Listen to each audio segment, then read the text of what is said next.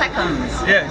So 18 past 6 on the 18th of May.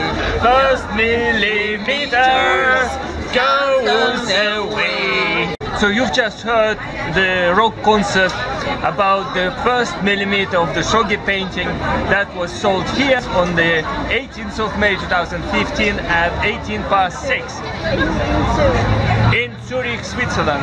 And it was bought by the lucky customer, Christina Martin. Hi, I'm so happy with it. So wait for a second. So we are going to apply one square millimeter to this paint which Christina has just bought and uh, her favorite is this one yeah the green one The, this one. this one This yes one with a small spot. yes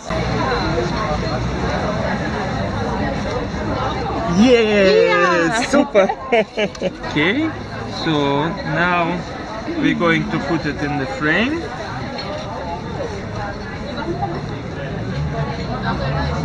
Yep. the way you like. So this is um, acrylic glass on magnet, which is a wonderful design. Look. yes. Yeah.